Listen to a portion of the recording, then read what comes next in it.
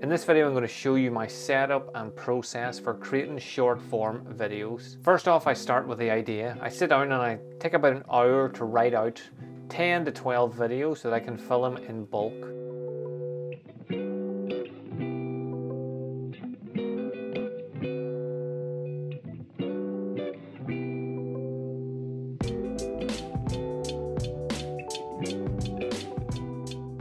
So this is my setup here. This is my down light. This light is to just fill the frame, fill as much light into the area as possible. So the more light for the camera to pick up on, the more detailed everything will be. The side light is a filler light, and that light is designed to fill the shadows that are created by the light coming down on me and the windows that I have at either side.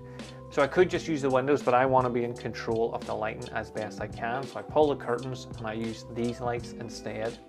I also have my ring light just set off at a 45 degree angle so that it just highlights everything as well. In the background, you'll see around the frame of the bookcase, there is also a little purple light and then beside that there's a little funky cool light what that does is take me out of the background so it makes it makes a space look like a space rather than it just being um, with most cameras whenever you're sitting in front of something no matter how far away you are it kind of pulls you back into it so a light behind you will light up that area a little bit and will give you a bit of depth as well and then the camera, I'm using the camera to film this obviously, but it just sits on the tripod like that.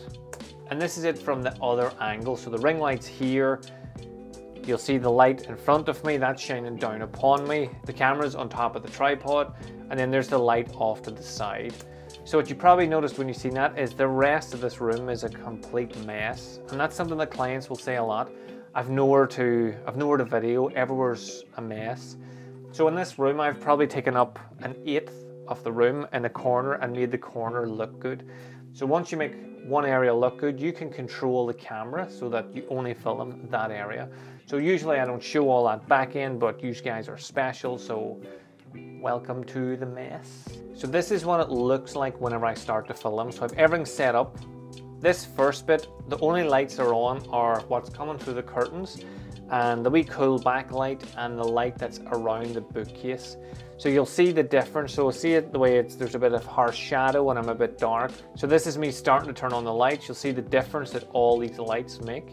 I probably should have stopped in between each one so you could see what they do, but I'll do a different video on that. But you'll just see the difference. All the lights are on, all the setup ones, the one above me, the one at the side. And see how that fills everything. There's no harsh shadows. You can see everything a lot clearer. And then when I start filming, so you'll see I have my page that I wrote on earlier. And I, I read the first line and I say the first line. Then I start again. I say this, that, that time I'm singing it. That one mightn't go into it, but, and then again I think, right, trying it again. So what I'm doing there is I'm saying each line two to three times. The reason for that is whenever you're starting out with your videos, a lot of the time we'll say something like, so the first line is why you should stand and deliver. So we'll read that and we'll go, right, we'll read the whole thing and we'll try to say it. Why should you stand and deliver? And you're trying to remember everything and say it really fast and get it over with, just like I just did there now. And you'll notice how off-putting that is. And I know when I look at my analytics, that's when people will dip out. So I read the first line and I say it. I say it out sharp, and I pause, have we think, change the tone, change where I deliver the word. So maybe the first one is why you should stand and deliver. And then I think about it and I go, stand and deliver should be a bit more. Why you should stand and deliver. And then I might think, well, that's that doesn't make sense anymore, so I'll add a wee bit. Why you should just stand and deliver your message.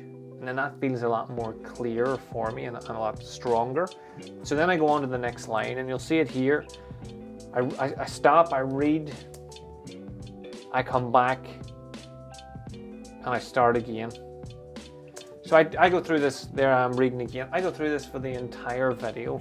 I stop, so it takes about 58 seconds, this video is, to get through every line. And that's what I advise all my clients to do. It takes the pressure off. You're only trying to remember one line at a time. You don't need to go through everything. And then we just cut out the fluff. We cut out stuff that just doesn't sound good. And we take the best clip, the best version of you saying it, and we use that in our final product. So I will put a link to the final product once I edit that one.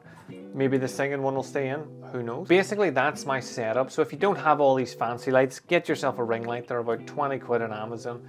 Use the lighting from your windows if you need to, but the more you can control the light, the better your video will look. One last thing, I'm also using a mic. You want your audio to be very clear, so I'm using the Rode Wireless Go 2, not sponsored, but they should sponsor me. Uh, I connected up to a wee lapel mic, but you don't need the lapel mic. And just to notice the difference, this is what it sounds like just with the little lapel. And when I unplug the lapel, this is what it sounds like now and it's probably still pretty clear.